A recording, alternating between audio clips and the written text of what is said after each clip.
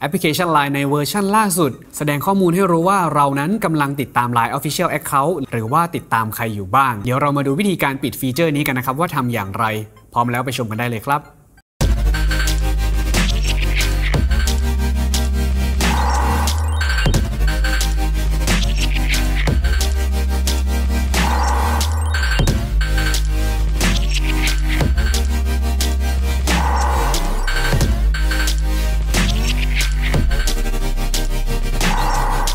ใน Line เวอร์ชันล่าสุด สามารถบอกได้ว่าเรานั้นกำลังติดตาม Line Official Account ของบัญชีไหนอยู่บ้าง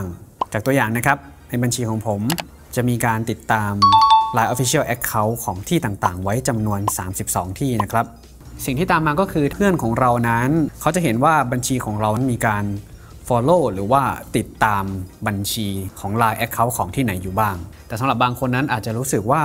ไม่มีความเป็นส่วนตัว เพราะว่าอาจจะไม่ได้อยากให้ใครมาดูข้อมูลที่เรากำลังติดตาม Line Official Account ของบัญชีต่างๆ อยู่นะครับ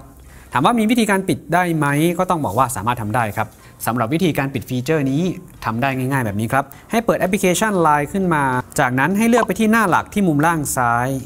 ต่อไปให้เลือกที่เครื่องหมายการตั้งค่าหรือว่า Setting ที่มุมบนซ้ายนะครับ ให้เลือกไปที่โปรไฟล์จากนั้นเลื่อนลงมาล่างสุดครับ จะเห็นเมนูที่ชื่อว่าแสดงข้อมูลการติดตาม ซึ่งค่าปกตินั้นจะถูกเปิดเอาไว้ ให้เราปิดเมนูนี้เอาไว้นะครับ หลังจากนั้นหากเรากลับมาตรวจสอบอีกครั้งนะครับ จะพบว่าข้อมูลการติดตามนั้นถูกซ่อนเอาไว้เป็นที่เรียบร้อยแล้วนะครับ และนี่ก็คือวิธีการปิดการแสดงข้อมูลการติดตาม หรือว่า show follow info นะครับปิดเมนูนี้เอาไว้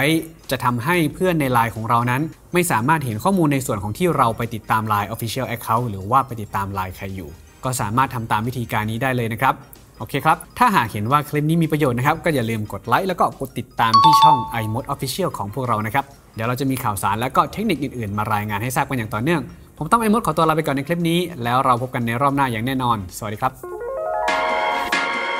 Let's go.